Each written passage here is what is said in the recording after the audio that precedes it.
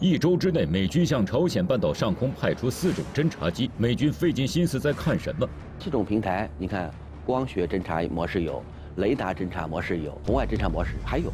日本咬定朝鲜试射武器为弹道导弹，极力渲染朝鲜威胁。朝鲜怒骂日本，宣称让你好好看看什么是弹道导弹。这个火箭弹和这个弹道导弹，可能呢日本傻傻分不清。那日本呢直接说这是弹道导弹，无疑是捅到了这个朝鲜的这个肺管子上。距离朝鲜划定的无核化谈判期限越来越近，朝方宣称朝鲜准备什么样的圣诞礼物，完全取决于美国的选择。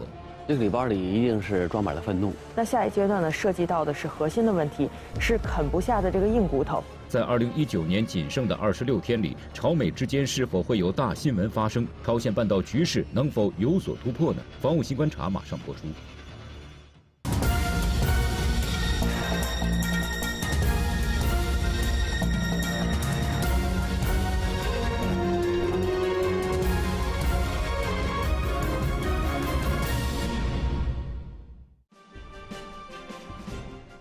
周四好，我是佳明。您在观察什么？希望我们英雄所见略同。朝鲜留给美国的时间不多了。近日，朝鲜给美国画出红线，要求在今年年底之前，美国必须要拿出一个符合双方利益的无核化谈判的新方案。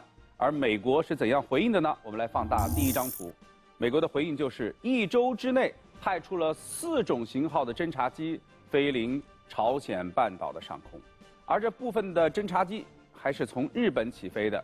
我们来放大第二张图。近日，朝鲜嘲笑日本说：“你们的首相连弹道导弹和火箭炮都分不清楚。”没关系，我们有，有机会我们给你展示一下。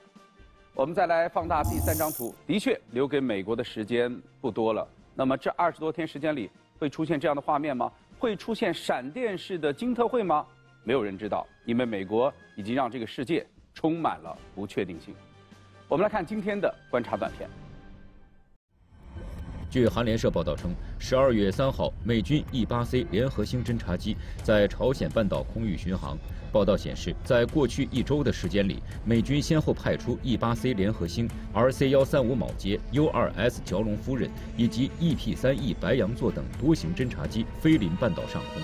韩联社援引美国媒体消息透露，十二月二号，美军 RC 幺三五 W 侦察机在韩国首都圈上空九千四百四十八米的高度飞行。在此前的十一月三十号，美军 U 二 S 侦察机在韩国首都圈、江原道和中清道上空巡航，据悉在两万米高空飞行了七到八个小时。韩媒报道指出，多年来美军侦察机经常从韩国或日本起飞，前往朝鲜边境执行监视任务。但是近期美军侦察机出现在半岛上空的次数比过去明显增多，令人心生疑惑。韩军方人士认为，美军侦察机最近在执行任务时都打开了位置识别设备，意在展示对朝监视能力。四个型号的侦察机接连前往朝鲜半岛，美军在看什么？美国会不会给出朝鲜想要的答案呢？防务新观察正在播出。欢迎苏女士和杜先生来到我们节目中间。首先请教苏女士，朝鲜是不是真的有点等不下去了？嗯，我们会看到呢，当前呢，朝鲜半岛的形势，也就是我们所谓的这个地区热点问题，确实呢，这个发展呢，呈现出此前呢不太常见的一种情况。过去呢，朝鲜半岛呢是起起伏伏，大家这个看这个朝鲜半岛局势发展，就像追剧一样，一会儿呢这个局势紧张，呃战争一触即发，然后一会儿呢似乎呢又相对的这种平稳。但是现在呢，我觉得朝鲜半岛的这种局势呢，对于朝鲜来说，您说的这个等不及，是因为谈也谈不下去，打也打不起来，所以呢处于一种焦灼的状态。而在在这种焦灼中呢，确实这个朝鲜的耐心呢是在一种耗尽的过程中。嗯，那请教杜先生，美国的回应居然是一周派出了四种型号的侦察机，他想干什么？呃，这个四种侦察机几乎都可以被称为战略之眼，呃，对狭小的朝鲜进行侦察可以获得很多情报。因为最近朝鲜的地面很多异动，呃，大概这些平台呢是各有侧重。呃，像 S 幺三五这个几乎在每次节目中几乎都被提到，俄罗斯周边也有，在朝鲜周边也会大量出现。因为现在朝鲜的不明发射物不知道是什么东西，如果通过对它弹道性质测定。大致可以判断出它的发射地点、飞行高度、落点和飞行参数，所以不排除这种飞机是对不明飞行物进行定性。像伊八飞机主要是看地面，一些海湾战争，包括伊拉克战争那些移动的飞毛腿导弹发射架，都是通过伊八飞机进行侦察和监视。他发现，如果是火箭弹或者导弹发射，它有个车，那个车一定是个移动目标。如果通过 E 八来确定从从哪儿出发，在哪个地方停止，在哪个地方发射，它大致可以把它路径进行侦查和分析。你像现在的 EP 三，主要是电子战飞机，这架飞机号称是无线电信号的吸尘器。如果是电台有各种频率发现，导弹包括这个制导的火箭有各种制导信号，它也可以去进行搜集和整理。所以现在看呢，这些信息如果综合整理之后，对于确定那些不明发射物的性质有重要作用。U 二飞机都很熟，它主要通过照片，通过其他的高清的对地模式去看看，在这个周边还有什么样的阵地。这车不可能孤立出现，一定是从某个地区出现。这个地区如果详细侦查之后，它的性质啊、数量啊，包括规模，也可以有一个清晰的结论。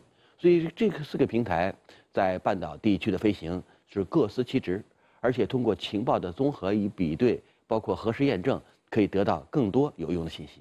那这是不是说明，其实美国现在加紧了对朝鲜的监控？那至少说明特别重视。如果对一个十二点六万平方公里狭窄的国土面积的朝鲜这么重视，从来没有过。像以前对苏联进行各种侦察，大概也是出动四种飞机中的一种，不可能把所有的飞机都集中在这个地区进行严密的侦察和监视。如果四种平台，你看光学侦察模式有，雷达侦察模式有，呃，另外呢，现在各种这个红外侦察模式还有。就多种模式对它进行侦查，从目前我们对半岛观察去分析，很少出现。那请教孙女士，美国就不怕这个举动激怒朝鲜吗？嗯，应该说从目前来说呢，美国的这样的一种密集的侦查呢，我觉得还是反映出美国对于朝鲜半岛的它的政策的这种延续性，而不是一种突发性或者是政策上的转折。对于美方来说呢，当前呢，对于朝鲜呢，一方面呢，希望能够。保证与朝鲜之间进行沟通，保证朝鲜呢能够按照美国的剧本来进行演戏。但同时呢，美国也知道呢，朝鲜呢确实是一个不太可以进行预测或者是不太可控的国家。这个时候呢，多看一看，对于美方来说是没有坏处的。而对于朝鲜来说呢，应该说被看惯了。所以此时呢，尽管如此密集，像刚才杜老师所说呢，是这种呃前所未有的加大强度烈度的对朝鲜进行侦查，但是从这种实际的效果来说，对于朝鲜的这种安全并没有带来特别直接的影响。那激怒朝鲜的可能性也并不是特别大。请教宋女士，您觉得朝鲜最近又是试射，又是给美国画出时间的红线，这对美国来说有效吗？嗯，其实我觉得呢，近一时期我们看到这个朝鲜半岛出现的一些这种安全环境上的变化，包括您刚才提到的这个试射的活动，我倒是认为呢，朝鲜呢近一时期它主要的敲打的对象是韩国，因为我们会看到呢，在去年的九月十九日，朝韩之间呢是签署了这个军事协定的，而这个军事协议呢，其实它的核心呢是使双方之间的这种军事对峙有所降温。韩国呢，在今年的九月十八日呢，曾经呢有点这个得意洋洋的说，在一年过去之后呢，会发现呢这个协议执行的还是相对良好的。过去呢，朝鲜呢经常在这个军事分界线的五公里内进行这种试射，然后进行一些演练。但是呢，从去年的九幺九到今年的九幺八这个一年的时间内，朝方呢似乎行动是非常克制的，甚至韩方说呢，朝鲜把自己的这个炮都盖起来了，就是不再用了。这样的一种行动呢，让韩国感觉到很安全。那正因为呢，韩国发出了这样的信息呢，所以现在呢，朝鲜正是抓住了你的这种所谓的安全感来进行打牌。朝鲜所要要的更多的是经济上的合作。那你既然经济上的合作落实不了，那我在这个军事上敲打敲打你，你也没有脾气。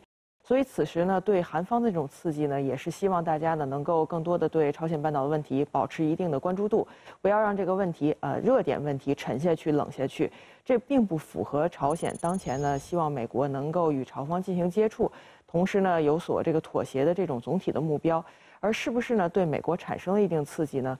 从现在来看，尤其是刚才我们谈到的这个美方的这种集中侦查来看。确实，美国接收到了这个信号，知道呢，朝鲜呢是这个杀鸡给猴看，呃，通过这个警告韩国的方式，告诉美国应该我们继续推动，所以呢，也要观察观察这个朝鲜的这个杀鸡的行动，它到底有多大的危害性。美军的侦察机让朝鲜半岛局势升温，而日本也在旁边添了一把火。一段广告之后，我们继续观察。朝鲜和日本近来关系很不融洽。据朝中社报道，朝鲜十一月二十八号成功进行了超大型火箭炮连发试射以后，日本首相安倍晋三称朝鲜进行了弹道导弹试射，并表示朝鲜的动作对国际社会构成严重挑战。对此，朝鲜外务省负责日本事务的副局长发表了题为“安倍真是有眼无珠”的文章，怒骂日本首相，还表示安倍也许很快就能近距离看到真正的弹道导弹，到时可以好好对比火箭炮和导弹之间的区别。朝鲜方面认为，目前朝美协商处于焦灼状态，日本政府此时喊出朝鲜威胁是为了讨好华盛顿。日美认为，朝鲜点名批评安倍，再次凸显平壤方面拒绝和东京进行无条件领导人会谈的立场。日本内阁官房长官菅义伟认为，今后朝鲜还会继续进行武器试射，为此，东京将继续加强日美之间的紧密沟通，在情报搜集、警戒监视方面做好准备。日本为何此时极力渲染朝鲜威胁？朝鲜怒怼日本是不是指桑骂槐呢？防务新观察继续播出。首先请教杜先生。朝鲜说安倍这个导弹和火箭炮傻傻的分不清。如果你想看我有，你怎么解读？那这个的确是个难题。呃，随着现在制导火箭弹越来越像导弹，这个制导火箭弹和导弹的区别越来越小。如果看之前这种简易的制导火箭弹和导弹，它有好多区别。你比如说从本身去分析，它第一它打不远，第二它打不准，第三它打得起。按照一般火箭弹，呃，一般这一百公里范围内，这已经很了不起的射程。我记得海湾战争，美国把那个钢雨 M 二七零打了之后，说叫七十公里的大炮啊，对美国地面作战能力和火力打击能力带来了重要影响，而且是方格毁灭者，就一个坐标格，一次齐射，完全可以毁掉。所以当时那个射程是火炮里最远的。但是你想导弹能打多远？一般的战术导弹三四百公里、五六百公里，中程导弹一千五百公里以上。所以从射程来看呢，这种火箭弹它再远，它也没有办法跟导弹进行抗衡，因为打的呃打不准。你现在它是简易制导。呃，跟导弹相比，它不是全程制导。你看导弹出去后，然后贯导啊、末段呀，包括几个层次的衔接，最后准确命中目标，百步穿杨。但是制导火箭一般它只在末段有几秒钟的制导时间，它为了省钱，所以这种情况下，它对目标的攻击效果，包括打击精度，跟导弹相比有重大差距。第三，打得起，导弹动不动上千万，这个火箭弹呢，改不改吧，大概是几百万。那这样在火力打击过程中，它可以最大限度的使用。这种武器装备进行攻击，但现在看呢，好像这几个标准都在逐渐模糊。你像朝鲜发射的大口径火箭弹，口径三百七十毫米，比一般的战术导弹还要粗，而且按照这个美方给的数据，三百七十公里射程，弹道高九十公里，这比一般的弹的战术弹道导弹打的还要远。俄罗斯说我的伊斯坎德尔导弹没有彩虹线，射程三百到四百公里。如果它是三百七十公里，就是这种火箭弹已经跟俄罗斯伊斯坎德尔导弹的射程相对接近。所以现在看呢，两者的区别正在逐渐缩小，难怪很多人无法区分。日本再高明，大概也没有办法第一时间分辨出这到底是火箭弹还是导弹。那请教两位专家，这次其实朝鲜的火气不小啊，这火是从哪来的？嗯，应该说呢，朝鲜认为日本是欲加之罪，何患无辞。嗯，所以是对日本。对日本。嗯，杜先生，呃，有可能日本是替美国受过，其实是对美国。好，孙女士，请继续。呃，确实呢，刚才杜老师也说到，这个火箭弹和这个弹道导弹，可能呢日本傻傻分不清。但是呢，我们都知道呢，就像一个杯子里头有半杯水，那有些人呢会说这是半满，有些人是半空，看你的这个理解。那对于朝鲜的进行发射之后呢，韩国方面呢一般会比较谨慎，说这个朝鲜发射了发射物或者是发射体这样的一种表述。那日本呢完全可以这个效仿韩国的这种说法，以一种相对的这种客观的方式来进行描述。但是呢，在这个火箭弹和这个导弹之间，日本呢直接就说成，呃，朝鲜发射了弹道导弹。这对于朝鲜来说呢，是认为。日本呢是故意的，是诚心的，而这个诚心的背后呢，就涉及到朝鲜它在这种核导能力发展的历史的过程中，其实呢，联合国安理会的多次的涉朝决议，尤其是它的这种制裁的措施，针对的是朝鲜的弹道导弹的能力。一旦呢你发了弹道导弹，那就是违反联合国安理会的决议。那此时呢，各国呢都有权利对朝鲜进行制裁，能够对朝鲜进行施压。而朝鲜现在呢，应该说一个核心的关切，恰恰是希望呢，在这个联合国的层面上能够放松对自己的制裁。没错。那日本呢，直接说这是弹道导弹，无疑是捅到了这个朝鲜的这个肺管子上。所以呢，对于日本的这样的一种做法呢，朝鲜肯定是非常愤怒的。嗯，杜先生，朝鲜和美国的关系很紧张，呃，而且约定了时间点，包括谈判的内容。但美国没有明确回应。在这个特别愤怒的时刻，日本要出来添乱，很有可能这个火一下就发到了日本身上。而且弹道导弹这几个字儿特别敏感，他告诉日本说：“你不要说是弹道导弹，你应该说是飞行轨迹射程像弹道导弹的火箭弹。如果把这个区别清楚以后呢，这个弹道导弹四个字儿离朝鲜的距离就会越来越远。因为只要跟这个四个字相关，无论是各方的制裁，没错，包括国际社会对朝鲜的态度，有可能会发生重大变化。如果朝鲜通过自己的技术创新，把这火箭弹到做的越来越像导弹，但是它也不是导弹。从这个角度来看，如果你从技术角度准确的分清我在做什么，这样对我的行动性质有一个清楚的定义。如果把弹道导弹几个字儿强加给朝鲜，那朝鲜很有可能在周边形象包括各种举动都会招致国际社会的谴责。所以对这一点呢，他表现出了强烈的不满。继续请教苏女士，日本媒体还爆出，其实发现在朝鲜的境内又多了几十个混凝土的导弹发射装置，但这只是他们媒体的报道。而日本呢，干了一件事情，把过去十三次试射的所有细节给你列了一张图表，是不是就像杜先生所说的，他现在就在把你往火坑里推？嗯，其实我们看得非常清楚，从这个二零一八年这个朝鲜半岛的局势出现了一些变化之后，日本的态度是特别耐人寻味的。朝韩之间呢互相拥抱，呃，实现民族和平和解。那这个朝美之间呢也进行了接触，尤其是这个领导人的接触是破天荒的。但是这个时候呢。强调朝鲜威胁的最坚定的力量不再是美国，而是日本。其实从这个去年开始，在这个所谓的这个朝鲜威胁的这个问题上，日本一般是无所不用其极。呃，不单呢是进行一些梳理啊，甚至是进行一些发挥。比如说去年三月份的时候，当时日本的外相河野本人就声称呢，朝鲜在准备下一次核活动，而且有鼻子有眼的说呢，日本已经监控到了。这个朝鲜呢，在他此前进行过核试验的这个设施，在进行挖土，然后有很多土方运出。呃，日本已经进行了一些测量，认为呢正在进行下一次准备等等。而此后呢，马上呢引起了这个美国媒体的一系列的连锁的反应，说确实呢，朝鲜呢在有一些这种相关的让人不安的动向。这样的一种动向之后呢，最后得出了一个结论，说这个朝鲜呢从没有停止它的这个核导的动作。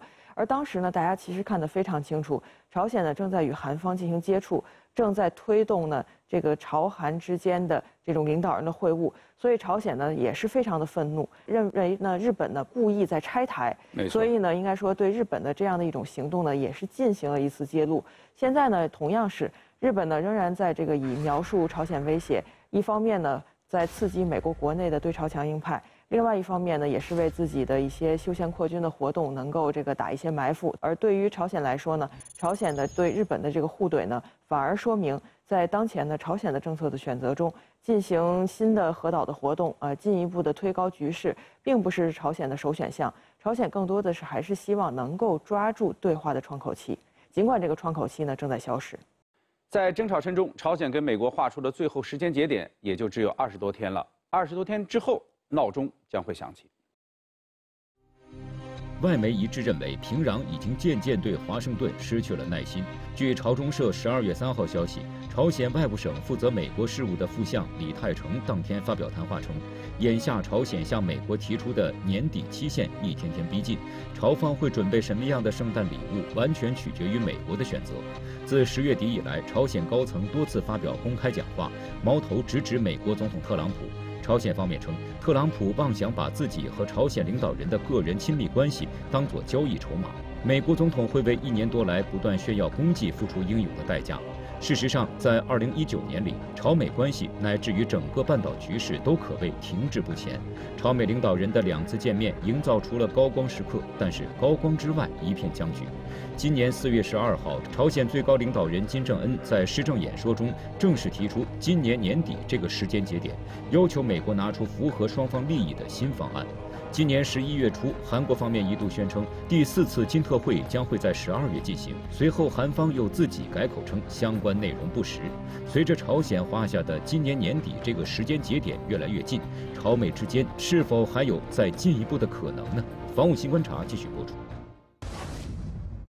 开门见山，请教两位专家，您觉得接下来这二十多天里面可能会有大新闻吗？杜先生，不会有，不会有，苏女士。都 认为不会有，为什么，杜先生？因为现在时间很紧，就剩二十多天，呃，进行各种谈判的准备，包括议题的设置，完全来不及。呃，这种情况下，双方只能够用自己的行动显示态度。所以，美国来了侦察机，呃，朝鲜把这个超级大口径火箭弹进行了试验和试射，所以短时间可以进行发怒。但是如果谈判或者是进行个别议题的深入交流，现在是一个不可能完成任务。呃，闪电外交在历史上有，但现在看呢，如果依然延续这种来去匆匆的形式，等于谈了白谈。如果下一次依然是这样没有意义的无效劳动，呃，效果依然是零，这样对朝鲜来讲无法接受。嗯，孙女士也认为不可能。不可能，因为其实我们看这个时间点，对于美国来说呢，已经进入到的年底的这种庆祝节日的时间。从这个感恩节之后，然后到圣诞节到新年，应该说在美国国内呢，很多人包括他的高层，心思呢也已经不在制造大新闻或者是进行一些大动作上。大家高高兴兴把这个节日过过去，可能是很多人的一个直接的诉求。当前呢，对于美国政府来说，如果在这个对朝政策上突然有这个大手笔，而大手笔。得到的效果又不如预期的话，那会产生一种反噬的效果，所以不如呢平平安安把这个时间度过去，这似乎是一种更优的选项。请教杜先生，朝鲜也了解美国人要过节的这个心理啊，所以就说，你会收到我们朝鲜什么样的圣诞礼物，取决于你们美国的态度。请教一下，朝鲜这个大礼包里面装的什么？这个礼包里一定是装满了愤怒。呃，既然现在谈不了也谈不成，见不了也见不成，那干脆在周边小的战术动作，一定是朝鲜的举动。因为这些测试对美国有可能对那神经的挑动功能不是特别严重，它至少没有打过太平洋，也没有对美国本土构成威胁，它只是对美国的盟友日本、韩国构成比较大的威胁。我现在除了这个大口径火箭弹的试射，大概今后还会有一系列的活动，你包括今后会不会有这种暗防的火箭弹的试射？如果那个火箭弹能打移动目标，那说明今后具备了弹道式反舰导弹的作战能力。那今后凡是进入日本海，包括周边海域的美国军舰、韩国舰艇，包括日本的作战目标，都是它的攻击对象。如果有这样的试射在其中，有可能对周边这个神经的挑动功能和效果也会进一步强化。所以这个礼包呢，很有可能中间没有鲜花，也没有奶油的味道，但是它有火药的味道。嗯，那请教苏女士，朝鲜准备了礼包，特朗普现在的心态可能会是什么？应该说呢，特朗普当前呢是非常的纠结，同时也是非常的尴尬。如果按照他本人，不是美国，是他本人的意愿，那当然希望呢与朝鲜之间达成一些大协议。如果有一份大协议呢，不单自己的政治遗产已经够了，呃，不管连不连任都可以了。但是呢，一方面呢，他在国内呢受到了很多的这种精英层的约束，很多人警告他呢，在这个对朝政策上是有红线的。你如果突破了红线啊，朝鲜呢也许不会找你，但是我们会找你。所以，尤其是在当前呢，这个国内弹劾调查在进行的过程中，他不愿意得罪国内的一些政治精英，得罪一些大佬。朝鲜的红线，他其实在意他国内的红线。对，这是他必须要考虑的一个问题。而另外呢，我觉得对特朗普来说呢，当前呢他还受到一个呃现实条件的考验。就是呢，对于他的地区盟友日韩之间的关系，没有了朝鲜威胁呢，日韩更难以走近。所以此时呢，美国呢也愿意通过派派侦察机，呃，这个炒一下这个朝鲜的一些动作等一系列的方式来告诉盟友，你们之间还是要保持联系，要交换情报。尽管美国呢能够把我们的情报与你们分别进行分享，但毕竟呢，你们之间的这种相互携手还是非常有这种安全上的意味的。在这样的一种背景之下呢，要突然对朝鲜释放一种善意，对于特朗普来说呢，确实是不可能完成的任务。最后一个问题，请教两位专家的预测：二十多天之后，朝鲜设定的闹钟就响了，之后局势会怎么发展？苏女士，您先研判。呃，应该说是还在僵局中，还僵局会持续。对，僵局会持续。嗯，杜先生。嗯，依然是冬天，依然是冬天。好，孙女士。呃，确实我们会看到呢，当前呢，朝鲜半岛局势发展的进程中，应该说可以做的动作已经做了，能够握的手已经握了。那下一阶段呢，涉及到的是核心的问题，是啃不下的这个硬骨头。如何啃这个硬骨头呢？从这个朝美来说呢，双方之间尽管有意愿，但也受到一系列因素的这个掣肘。尤其是呢，美国进入这个大选的白热化阶段之后，对于美国总统来说，还顾得上顾不上朝鲜，是一个现实的问题。所以此时呢，双方之间更多的保持局势的这种可控性，应该说是一个相对来说明智的一个选项。嗯，杜先生，呃，虽然最过二十天能够听到春天的脚步，但是那是自然的节奏。那如果从朝鲜与美国的关系来看呢，依然是严冬状态。美国虽然口头上讲的特别好，但实际行动一刻也没有放松。没错，呃，制裁没有解除，呃，其他方面的军事压力也没有完全消除，而且联合日本、包括韩国在周边对朝鲜的军事威慑行动，跟之前状态完全一样。一个兵没有撤，一个导弹也没有撤，一艘军舰没少来，各种演练行动虽然是这个噪声降低，呃声倍分贝降低，但是它实际上的演练行动一刻也没有停止，它对整个问题没有解决的基本的依据，所以我们判断呢，在未来的二十天，呃，朝鲜与美国这道题依然是无解。这里是防务新观察，感谢两位专家的分析，也感谢您的收看。如果想了解更多的军事新闻，欢迎您登录中国军事网，也欢迎大家关注中国之声国防时空栏目。欢迎大家关注我们栏目的微信公众号“央视防务新观察”，和我们互动。我是佳明，我们明晚见。